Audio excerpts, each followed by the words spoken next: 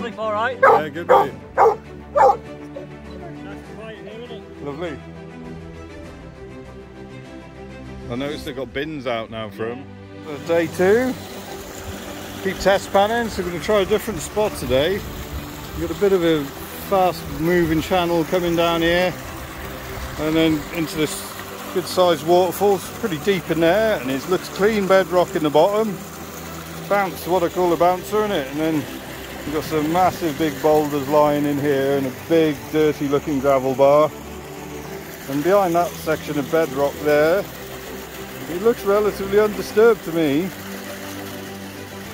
I don't know, we'll find out in a minute. So we may have some gold in a flood layer on top of that, hopefully.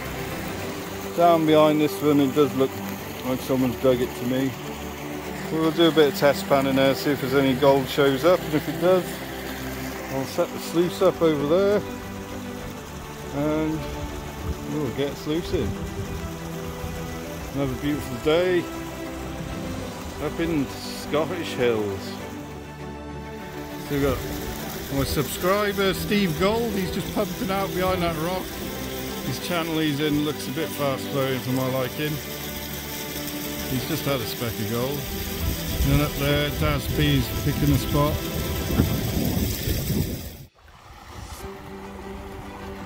So we've got some big boulders and all sorts of sized cobbles through this gravel bar. We've got some big rocks around on this bedrock here. I'm going to shift that rock in there, dig this, see if we can get that down the bedrock there and see if there's anything good. Got my proper drop riffle on, don't often use this. I love it, it's my favourite sluice so let's uh, pump some material through it and see what happens. Look at that, what a place.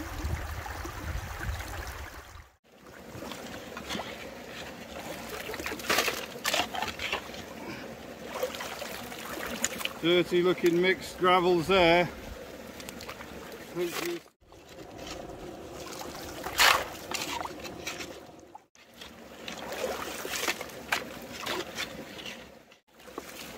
The gravel's uh, not very compact, all a bit too loose for my liking.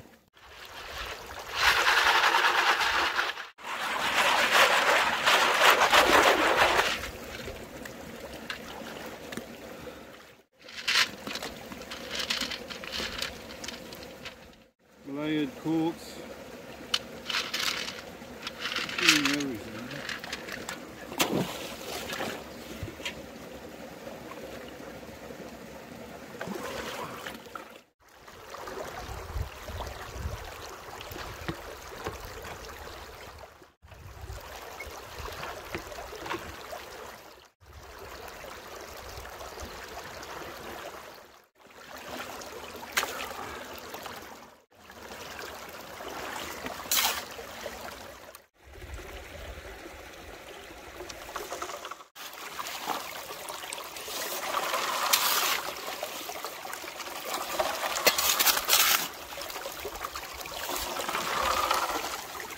What have we got? Uh, might be a couple of specks. It doesn't look very bright though.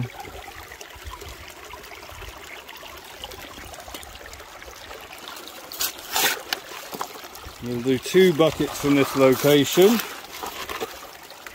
and pan it and if there's no gold I'll go back to where I was yesterday and clean it down to bedrock.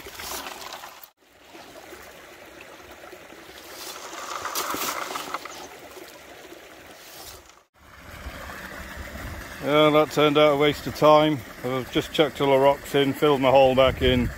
I think someone's done it right across. I think there's a bit of a crevice across the bottom there. And although that side looked disturbed, there's not really any hematite in it, so I think someone's just completely done it already. Didn't get a speck out of two buckets, so that's this prospect over with. Someone's beat me to it. So I went in the museum today and had a look at the history. They didn't have um, that much on um, the alluvial workings, they had plenty on the actual mine. And what we're looking at in front of me here is a, you can see that rotten plank and I have a feeling that was uh, used like a wing dam by the old timers. I don't know how old, whether it's 30, 40, 50 years old or going back to the turn of the century, you know, late 1800s, I'm not sure. But um, they would have stuck that board in a gravel bar and uh, closed in the flow on one side of the river, creating a venturi, which would have helped suck all the light uh, gravel and material off the gravel bar, just leaving the heavies behind so they can just work them, saving them half the work. Very clever. Um, that's not a very good example there, so we're going to walk a bit further and see if we can find another.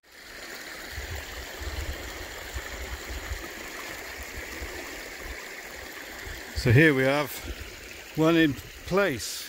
This, I don't know how old it is, maybe more recent than I'm thinking, but it's definitely not new. It's a good example that is. That's placed sort of in the middle of the gravel bar.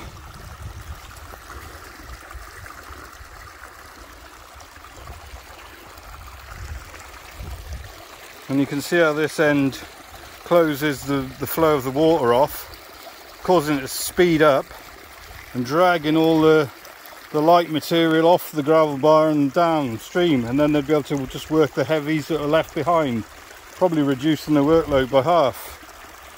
Clever clever people. So it's left in there. It's a proper old wooden board. It's not modern because I'm sure they'd be using plywood nowadays or it's a proper old wooden board. I wonder how old that is I don't know, no idea. But uh, the there's a picture in the in the museum of a guy using them back in the 1800s, and if that is more modern, then it's uh, just been used, reused. This could also be a, a stone wing dam to draw the gravel off the gravel bar, or it's just another panner's uh, dam to get a sluice going. It's hard to tell. How cool is that? An old wooden sluice. Probably not that old. I wonder how old that is. 30 years maybe.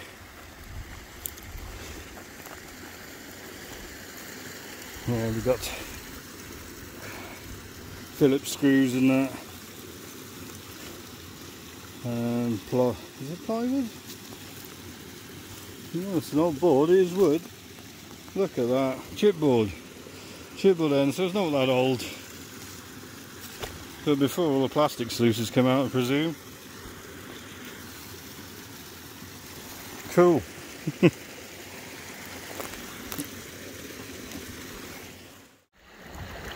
so I have a gravel bar here and I've raked all the big rocks out of the way over here just on a bit there. Um, put a couple of big rocks in the flow over there to allow the water to flow in here and wash all the light stuff out of the gravel bar. Giving me less work to dig. And we're going to start sucking it up in a minute. Now it's washed a bit out and see if it holds any gold. We all did really bad today. Didn't get any gold really. So Daz P's going to take me to one of his spots where there is gold. Right. Good? We got gold. That's a good thing. Gold.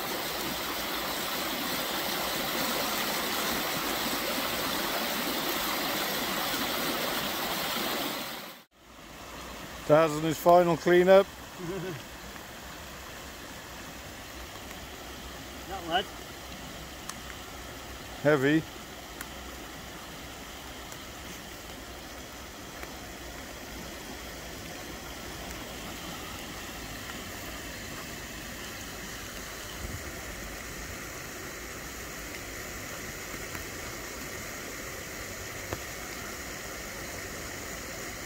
Loads of yellow in there. A few specs, some um, lead shot.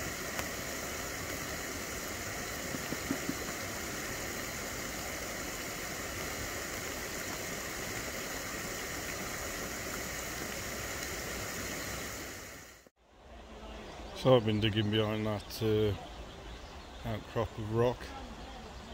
Just see boat head.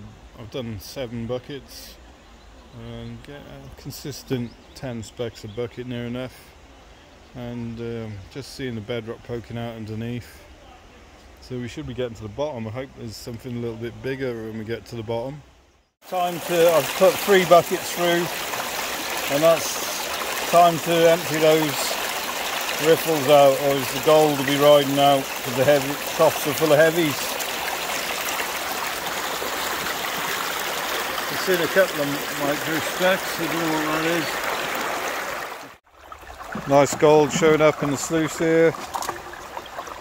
So Daz's pot spot came up trumps. We've got some, you know, small gold, but was, you know, we're seeing it with every scoop. It's uh, nice just to keep seeing it appear in the sluice. Keeps you going. Nice little hole today. Well, thanks to Daz for putting me on the gold. We had a great day. It was a beautiful location, and I got a nice bit of shiny look.